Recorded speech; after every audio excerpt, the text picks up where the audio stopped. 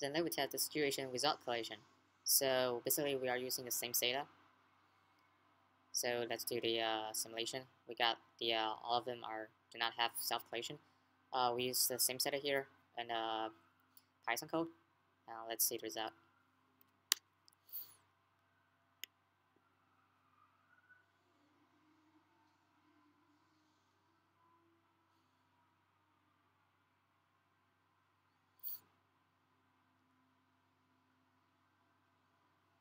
You see, just none of them have uh, self-collision uh, or object collision.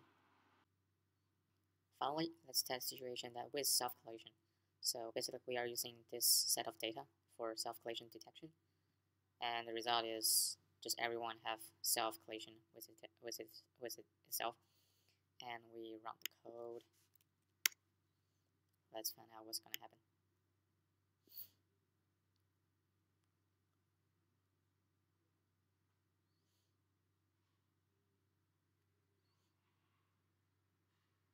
You see, just every robot has self-collision in this situation.